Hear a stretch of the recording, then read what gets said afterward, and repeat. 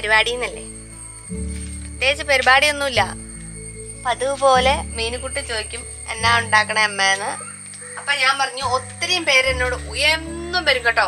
ഒരു കൊച്ചു സ്ഥിരം ചോദിക്കുക എന്നാ ആന്റി വെട്ടുകേക്ക് ഉണ്ടാക്കാൻ പറ്റും ഇത്രയും ദിവസമായിട്ട് ഉണ്ടാക്കാത്തെന്ന് അപ്പൊ ഉഷാറായാലല്ലേ നമുക്ക് ഉണ്ടാക്കാൻ പറ്റുള്ളൂ. അന്നേരം ഞാൻ ഓർത്തു ചായക്കടയിലെ പലഹാരം എനിക്ക് ഭയങ്കര ഇഷ്ടമാട്ടോ വെട്ടുകേക്ക് ആ ചായക്കടയിൽ നിന്ന് കഴിക്കുമ്പോൾ ഒരു പ്രത്യേക സുഖമല്ലേ? അത് നല്ല കടുപ്പത്തിലുള്ള ചായയും ഒരു വെട്ടുകേക്കും ആഹാ. അപ്പോൾ ആ വെട്ടുകേക്ക് കുറേ പേർക്ക് ഉണ്ടാക്കണം എന്ന് ആഗ്രഹം ഉണ്ടെന്ന് പറഞ്ഞു. അപ്പം നമുക്ക് വെട്ടുകേക്ക് ഉണ്ടാക്കിയേക്കാം. അതിനിങ്ങനെ കണ്ടമാന സാധനങ്ങളൊന്നും വേണ്ടല്ലോ. അതുകൊണ്ട് എളുപ്പമുള്ള സാധനങ്ങളൊക്കെ വെച്ചിട്ട് ചായക്കടയിൽ അങ്ങനെ തന്നെ ഇരിക്കണം വെട്ടുകേക്ക്. അത്രേ ഉള്ളൂ. ഒരു ചായക്കടയിലെ വെട്ടുകേക്ക് ഒന്ന് നമ്മൾ ഉണ്ടാക്കി വെട്ടുകേക്ക് വെച്ച് തിന്ന് നോക്കണം. എന്നിട്ട് അടിപൊളിയാണോ എന്ന് പറയണം. അത്രേ ഉള്ളൂ. അപ്പൊ നമുക്ക് ഉണ്ടാക്കാം പാ വെട്ടുകേക്ക് ഉണ്ടാക്കാൻ കണ്ടമാന സാധനമൊന്നും വേണ്ട കേട്ടോ. നമുക്ക് കുഴക്കാനുള്ള നമ്മുടെ പാത്രം വേണം നമ്മുടെ സ്ഥിരം കുഴക്കുന്ന പാത്രം. എന്നോട് കുറെ പേര് ചോദിച്ചു ഇതിനകത്തിട്ട് കുഴച്ചാൽ പൊട്ടിപ്പോവില്ലെന്നൊക്കെ ഞാൻ ഇതിനകത്തിട്ട് കുഴച്ച് കുഴച്ച് കുഴച്ച് വെച്ച് പാത്രം മടുത്തു തോന്നുന്നു. ഇപ്പൊ ഇത് പൊട്ടുന്ന ലക്ഷണമൊന്നും ഇല്ല ഓ ഇനി എങ്ങാനും പൊട്ടുമോ ഇല്ലായിരിക്കൂലേ ഇനി അങ്ങനെ കുറേ സാധനങ്ങളൊന്നും വേണ്ട കേട്ടോ. ഞാൻ ഇവിടെ ഒരു കിലോ മൈദ അത് മേടിച്ചിട്ട് വന്ന് അങ്ങനെ തന്നെ വെച്ചിട്ടുണ്ട്. ഒരു കിലോ. അത് കാരണം ഒരു ആറ് മുട്ടയും വേണം. പിന്നെ ഒരു ഒരു കപ്പ് പഞ്ചസാര ഇപ്പൊ പൊടിച്ചില്ല എന്ന് ഓർത്തോണ്ട് കുഴപ്പമൊന്നുമില്ല. പൊടിക്കുകയാണെങ്കിൽ കുറച്ചുകൂടെ പണി എളുപ്പമുണ്ട്. അത്ര ഉള്ളതുകൊണ്ട് ഒരു കപ്പ് പഞ്ചസാര പൊടിച്ചു വെച്ചത്. പിന്നെ ഒരു ലേശം ഉപ്പ് നമ്മുടെ ആവശ്യത്തിന്. ഉപ്പ് പാകത്തിന്. അവനവന്റെ ഏനം പോലെ എന്ന് പറയാം.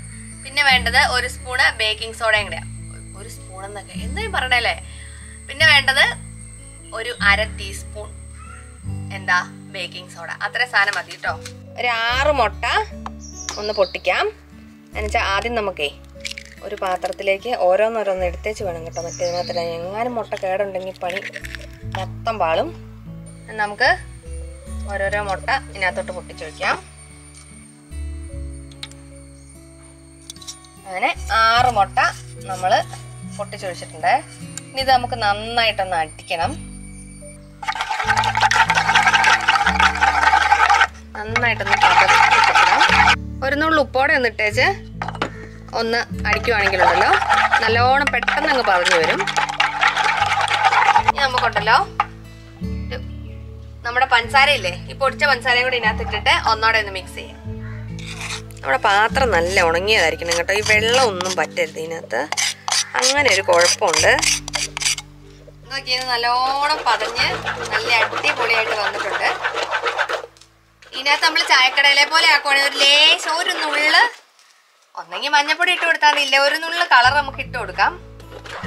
വീഡിയോ ഒക്കെയല്ലേ അപ്പൊ ഫോട്ടോയ്ക്കൊക്കെ ഇച്ചിരി ഭംഗി വരണമെങ്കിൽ കളർ ഉണ്ടെങ്കിൽ നല്ല രസമല്ലേ? അത് കാരണം ഇനി ഞാൻ ഇതിലൊരു നുള്ള് മഞ്ഞ കളറും കൂടെ ആഡ് ചെയ്യുന്നുണ്ട്.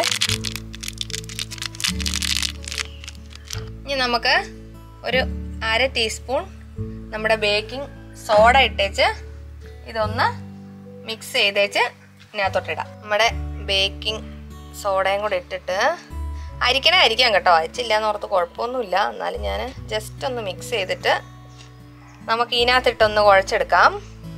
നമ്മൾ ഇതിനകത്ത് തന്നെ ഇട്ടേച്ച് വേണം കേട്ടോ ഇത് കുഴയ്ക്കാൻ. ഇതിനകത്ത് നമ്മൾ ഇനി ഒന്നും ചേർക്കുന്നില്ല. എന്ന് വെച്ചാൽ നമ്മുടെ വെള്ളമോ പാലോ ഒന്നുമില്ല. ജസ്റ്റ് ഇതിനകത്ത് തന്നെ കിടന്നേച്ചത് ഇനി നമുക്ക് ഈ മുട്ടയുടെ വെള്ളയില്ലേ മുട്ടയുടെ വെള്ളക്കകത്തെ നനവ് കൊണ്ട് തന്നെ ഇത് മൊത്തം കുഴയ്ക്കണം. അത് കറക്റ്റ് ആയിരിക്കും കുഴച്ച് വരുമ്പോഴേ. ഒരു കിലോ പൊടിക്ക് ആറ് മുട്ട കണക്കാണ്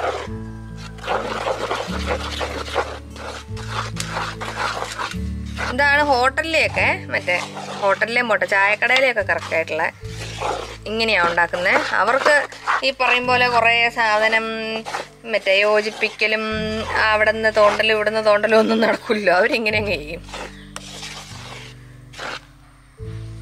ഇനി ഞാനിതേ നമ്മുടെ ടേബിളിലോട്ട് ഇട്ടിട്ട് ശരിക്കൊന്ന് കുഴച്ച് ഇവിടെ തന്നെ നമുക്ക് പരത്തി വെക്കാം. ഇതുണ്ടല്ലോ ആദ്യം നമുക്ക് കുഴയ്ക്കുമ്പോൾ തോന്നുക ഇതിനി കുഴ കറക്റ്റ് ആവൂലേന്ന് വിട്ട് വിട്ട് പോകുമ്പോഴേ ഒരു അഞ്ച് മിനിറ്റ് അങ്ങ് കുഴയ്ക്കുമ്പോൾ ഇത് നല്ല കറക്റ്റ് പാക പാകത്തിനായിക്കോളും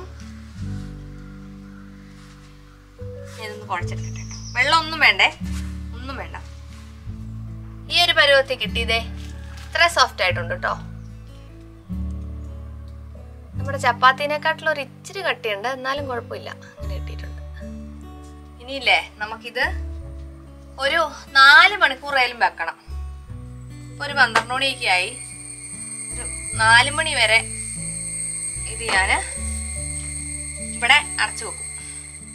എന്നിട്ട് നമുക്കൊരു നാല് മണിക്ക് ശേഷം നോക്കാം ഇതിന്റെ ബാക്കി പരിപാടി. അപ്പൊ ദേ ഇതിനെ ഞാൻ ഇതിനകത്ത് വെച്ചിട്ട് ഇവിടെ മൂടി ഇവിടെ വെക്കാം. നാല് മണിക്കൂറിന് ശേഷം പാക്കലാം. അപ്പോ വൈകുന്നേരമായി കേട്ടോ. അതെ മാവ് അങ്ങനെ തന്നെ ഉണ്ട്. കുറച്ചൊന്ന് സോഫ്റ്റ് ആയിട്ടുണ്ട്. ഇനി നമുക്ക് ഇതെടുത്തിട്ട് ഉണ്ടോ സോഫ്റ്റ് ആയിട്ട്. ഇനി നമുക്ക് ഇത് നമുക്ക് നമ്മുടെ കണക്കിന് മുറിച്ചെടുക്കണം. ഇത് ആദ്യം ഒന്ന് കുഴൽ പോലെ ആക്കണം. എന്നിട്ട് വേണം നമുക്ക് മുറിച്ചെടുക്കാൻ.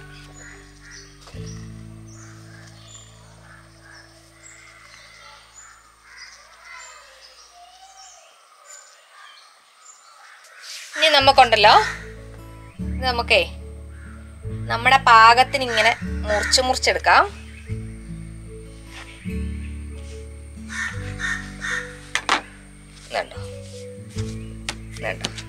ഒരു ഈ കട്ടിയിൽ നമുക്കിങ്ങനെ ബാക്കി എല്ലാം മുറിച്ച് മുറിച്ചെടുക്കാം.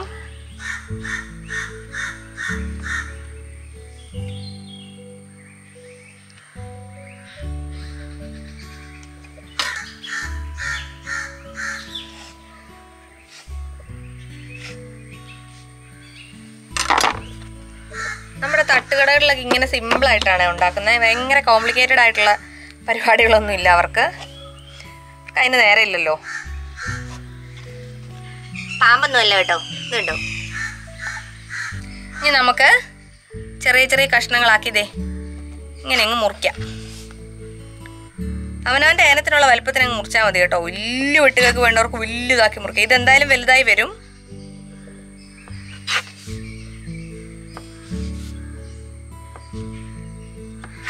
എന്നിട്ട് നമ്മുടെ സൗകര്യത്തിന് ഇങ്ങനെ വെട്ട് വേണമെന്നുള്ളവർക്ക് ഇങ്ങനെ ഇട്ട് കൊടുക്കാം. ഇങ്ങനെ വേണമെങ്കിൽ ഇങ്ങനെ ഇട്ട് കൊടുക്കാം. അപ്പം ഇതിങ്ങനെ പൊളിഞ്ഞിങ്ങനെ വരും. നമ്മളാക്കി കഴിയുമ്പോഴേ ഒത്തിരി അങ്ങ് കീറി കഴിഞ്ഞിട്ടുണ്ടെങ്കിൽ അതുണ്ടല്ലോ. പൊട്ടി അങ്ങ് പോവും. അതുകൊണ്ട് നമ്മുടെ സൗകര്യത്തിന് എങ്ങനെയാന്നാ വേണമെങ്കിൽ ഇങ്ങനെ ഇട്ട് കൊടുക്കാം. എങ്ങനെ ആയാലും കുഴപ്പമൊന്നുമില്ല. പക്ഷെ പൊട്ടിപ്പോരുത്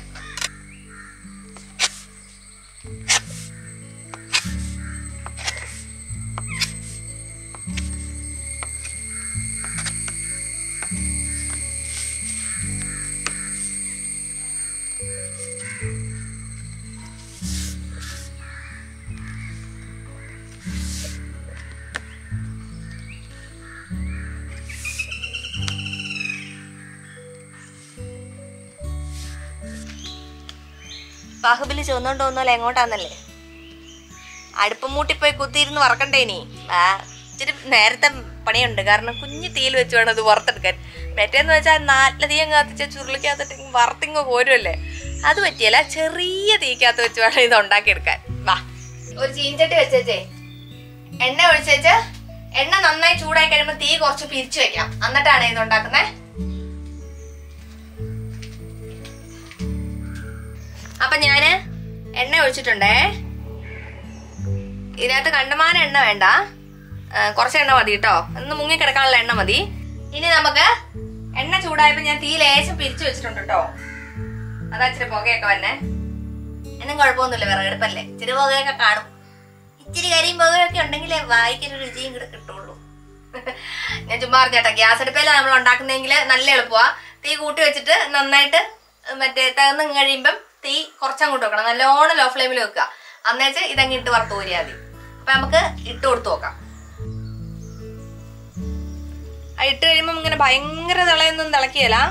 പതുക്കെ പൊങ്ങിയേ വരുള്ളൂ. നമുക്കൊരു രണ്ടു മൂന്നെണ്ണം വെച്ച് ഇട്ട് കൊടുക്കാം. അത്ര മതിയായിരിക്കും. ഞാൻ നോക്കട്ടെ. ഇല്ല.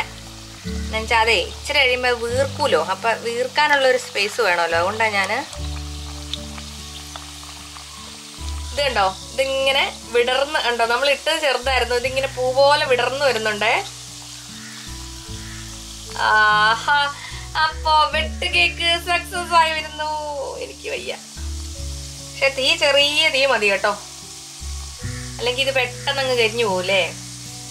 നമുക്കിത് തിരിച്ച് മറിച്ചൊക്കെ ഇട്ട് ഇതൊന്ന് മൊരിച്ചെടുക്കണം കുഞ്ഞു ഫ്ലെയിമിൽ അവിടെ നിന്ന് വെന്ത് വെന്ത്.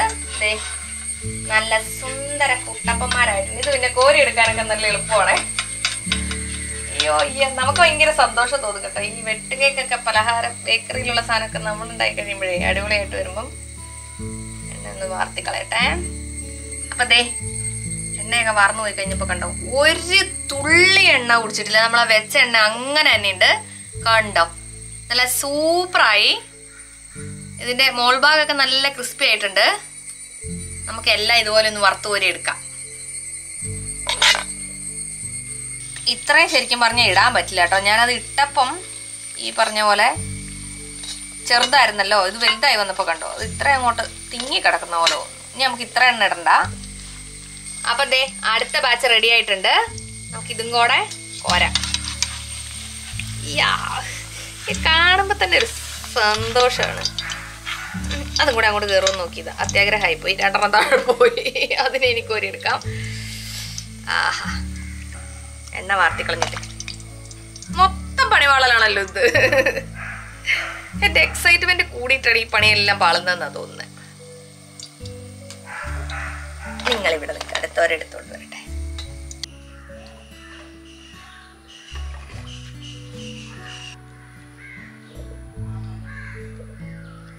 അപ്പൊ ദേ ഒരു കിലോ മൈദപ്പൊടിക്ക് ഇത്ര വെട്ടുകൾ കിട്ടിയിട്ടുണ്ട്. ഇതൊരു നാപ്പത്തി മൂന്നെണ്ണം ഉണ്ട് കേട്ടോ. ഇനി ഇത് കഴിച്ചു നോക്കാം. ഞാൻ ഇതുവരെ ടേസ്റ്റ് ചെയ്ത് നോക്കിയില്ല കേട്ടോ. ഇത് കണ്ടോ? നല്ല അടിപൊളിയായിട്ടൊക്കെ വന്നിട്ടുണ്ട്. നല്ല പൂ പോലെയൊക്കെ വന്നിട്ടുണ്ട്. പുറം നല്ല ക്രിസ്പിയാ കേട്ടോ. നമുക്ക് ഇതൊന്ന് പൊളിച്ചു നോക്കാം. ഇതാ ഉള്ളു നല്ല സോഫ്റ്റ് ആയിട്ടുണ്ട്. തിന്നു നോക്കാം.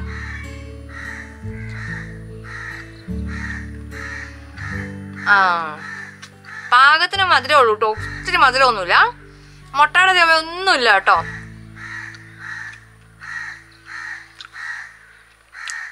കട്ടൻ ചായ കൂടെ വേണമായിരുന്നു. ശരിക്കും നമ്മൾ ചായക്കടയിൽ നിന്ന് ചായയുടെ കൂടി കുടിക്കുന്ന അതേ സാധനം തന്നെ കേട്ടോ നല്ല പുറം നല്ല ക്രിസ്പിയാ. തിന്നോണ്ടിരിക്കാൻ നല്ല സുഖമുണ്ട്. കാരണം കണ്ടമാനം മധുരമൊന്നുമില്ല കുത്തലൊന്നുമില്ല. അടിപൊളി. ഇതെല്ലാവരും ഉണ്ടാക്കി നോക്കണം കേട്ടോ. എന്തായാലും സക്സസ് ആവും.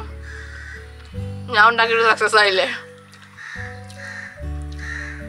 നമ്മളെല്ലാ സാധനം ഉണ്ടല്ലോ. ഭയങ്കര കോംപ്ലിക്കേറ്റഡ് ആയിട്ട് ഇങ്ങനെ മൂക്ക പിടിക്കേണ്ടതിന് പകരം ഇങ്ങനെ മൂക്ക പിടിക്കുന്നതുകൊണ്ടാ പല സാധനവും ശരിയാവാത്ത. ഞാൻ തന്നെ ചെയ്ത് നോക്കിയിട്ട് പലതും ശരിയാവാത്ത അങ്ങനെ വരുമ്പോഴാ. സിമ്പിൾ ആയിട്ട് ചെയ്താ അത് നമ്മുടെ അടുത്തുള്ള ചെറിയ ചായക്കടകളിലൊക്കെ എങ്ങനെയാണ് ചെയ്യുന്നതെന്ന് ചോദിച്ചാൽ അങ്ങനെയൊക്കെ ചെയ്താൽ നല്ല പെർഫെക്റ്റ് ആയിട്ട് കിട്ടും. പിന്നെ ഇങ്ങനെ ഔൺസും ടീസ്പൂണും ഒക്കെ ആക്കാൻ പോകുമ്പോഴാണ് എന്റെ എല്ലാ പണിയും പാളുന്നത് കേട്ടോ. അങ്ങനെ എണ്ണത്തിന് ചെയ്ത ഒരു കുഴപ്പമില്ല. അടിപൊളിയായിട്ടുണ്ട്. അപ്പം ഇനിയത്തെ പരിപാടി എന്ന് പറഞ്ഞാൽ എത്രയും പെട്ടെന്ന് പോയിട്ട് കട്ടൻ ചായ ഇട്ട് കട്ടൻ ചായ അടുപ്പത്ത് ഇട്ടാൽ മതിയായിരുന്നു. നല്ല തീ ഉണ്ടായിരുന്നു. കട്ടൻ ചായ ഇട്ട് വെട്ടുകിഴക്കും കൂട്ടി കളിക്കട്ടെ ചെറുപ്പത്തൊണ്ടേ കുടുങ്ങി ചാവും പിടിച്ചു നിന്നിട്ട് അപ്പോ അടുത്ത വീഡിയോ കാണാതെ വരെ ബൈ. ഒരു വെട്ടുകിഴക്ക് എല്ലാരും കൂടെ കഴിച്ചു.